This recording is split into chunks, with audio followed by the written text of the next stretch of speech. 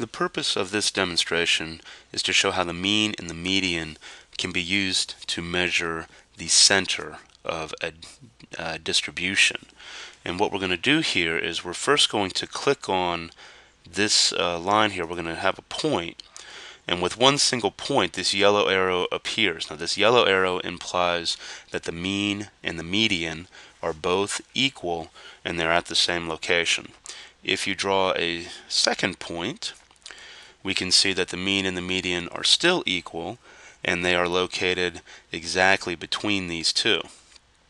But if you add a third point, now the green arrow is marking the average or the mean and the red arrow is marking the median. And with these three points, the median is here. If we add in another point here on the other side, we have moved the mean and the median back together. And we have, and you can see from these data values, we have a symmetric looking distribution. Now what happens if we start adding more data values that are bunched up over on one side? And we start building what appears to be a dot plot of these data values.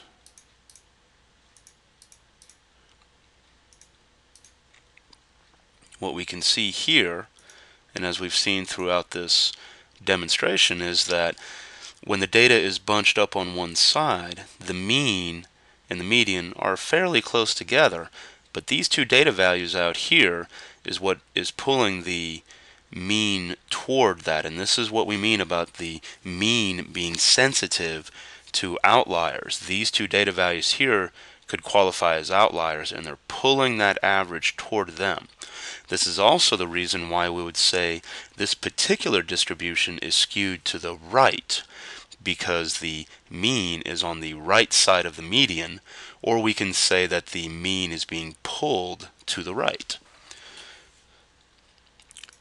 And if we add in some more data values to stretch this out toward the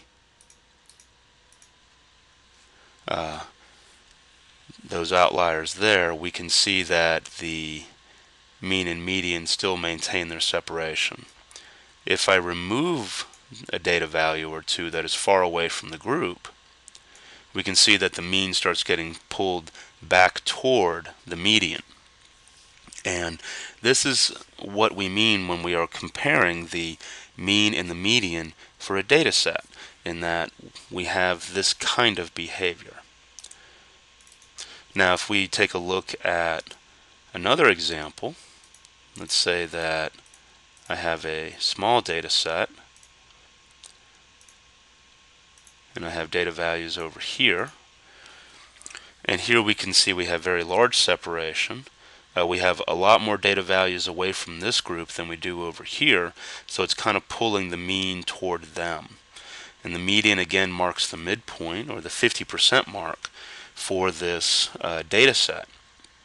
And again, if you start building up values for these guys toward the middle portion, the mean starts getting closer and closer to that median. And if we build data values further away, we can see that we are getting the mean to shift toward these data values. And again, this is what we mean when we say that the mean is sensitive to these outliers and the median is not as sensitive. As you can see here, the median did not move very far when I added these data values in, but the mean did move pretty far to accommodate that. And this is how we go through and compare the mean and the median when we are looking at a data set.